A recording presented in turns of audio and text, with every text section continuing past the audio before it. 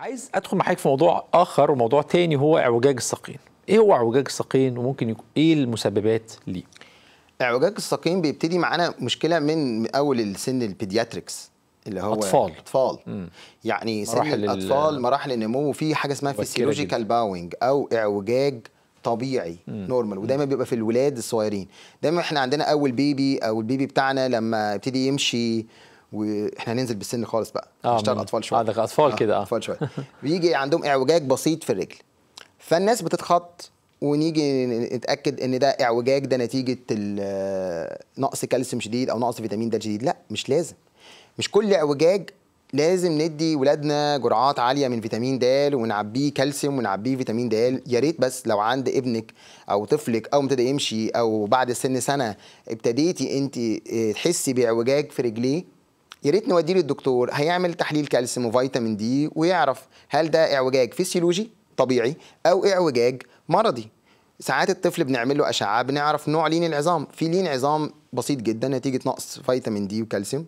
انت عارف بعد حبسة الكورونا اللي إحنا حصل اللي حصلت لنا السنتين ثلاثة اللي فاتوا ولادنا اتحبسوا معانا في البيت. مفيش شمس مفيش رياضة مفيش أي حاجة خالص. الأطفال اتأثرت. عدم التعرض ل- لشمس فترات طويلة بقى عندهم نقص فيتامين د. في ناس عندها نقص فيتامين د نتيجة عدم التعرض للشمس الأطفال أو نتيجة ضعف في التغذية أو نتيجة ما عندهمش مستقبلات فيتامين د على سطح العظم. إحنا بادئين الموضوع الاعوجاج من بدري قوي okay؟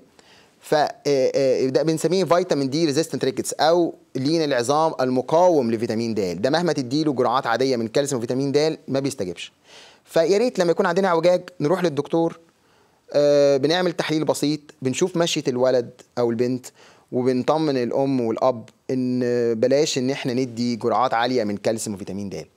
لو الاعوجاج ده اتساب وبقى اعوجاج ثابت ومستمر في سن الخمس ست سنين ساعات عمليات التقويم بتبقى نتيجة كويسة قوي افرض إحنا أهملنا بنكبر بيبقى عندنا 20 25 سنة وعندي اعوجاج آه أنا كبرت وأروح شغلي وابتدي أحس بوجع في ركبتي. ببص في المراية لقيت رجليا مقوصة. هل كل واحد رجليه مقوصة لازم يعمل عملية؟ لا أكيد خالص. لا. في حاجة اسمها أشعة اسمها stitching X-ray أو أشعة قياس الزوايا. ممكن يكون الساق نفسها مقوسه لكن سطح المفصل مساوي تماما لسطح المفصل كده. okay؟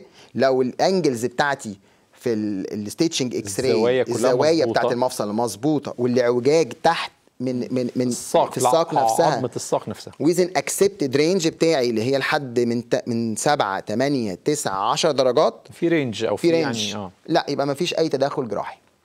افرض أنا عندي اعوجاج وبقيس بالأشعة لقيت المفصل ضيق من هنا. لقيت الرجل معوجة بالمنظر ده. أو معوجة بالمنظر ده. ولقيت الس- المسافه دي ضيقة. كبرت دماغي. okay. ابتديت أحس بألم. ابتديت أحس بطاقة. ابتدى يحصل قطع في الغضروف. هي دي بقى النقطة. أنا راح أعمل عملية في الغضروف. طب معلش ممكن نعمل أشعة وحضرتك واقف أشوف في إعوجاج ولا لأ؟ إن دي آه، ميس هاب أو آه، عدم حرفية في العمل إن أنا آخد قرار على رنين بس. لأن من أحد أهم الحاجات اللي بنشخص بيها الأشعة العادية والمريض واقف. بعرف منها زاوية الركبة بعرف منها قد إيه سطح التلامسي للركبه لأن لو عظم فيه اعوجاج ودخلت عملت عملية رباط صليبي أو عملت عملية إصلاح للغضروف وأنا عندي اعوجاج العملية مش هتنجح. صحيح صحيح. حضرتك أنت بتصلح رباط وأنت عندك الهيكل الميكانيكي بتاع رجليك معوج. فال high tibial osteotomy أو آه، إصلاح اعوجاج الرجل آه، من أحد أهم العمليات اللي إحنا ساعات ما بناخدش بالنا منها. يعني بيجي لي المريض يقول أنا عندي قطع في الغضروف وعندي قطع رباط صليبي. طب ممكن تعمل أشعة؟ دي يقول أنا عامل رنين لا الرنين ليس غنى عن الأشعة العادية. إن بحب نحكم على زوايا الرجل.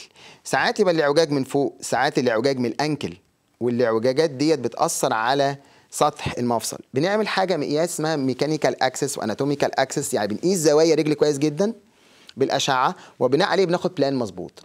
أهم حاجة في علم جراحة العظام إن إحنا ناخد decision صح. يعني الحمد لله جراحين كتير يعني شطار جدا جدا جدا. فعلا إحنا جراحين شطار جدا. لكن ال decision صح أو ال plan يتعمل صح القرار لازم هو يتاخد القرار على أساسات كلها مظبوطه بالظبط لازم يتعمل القرار صح.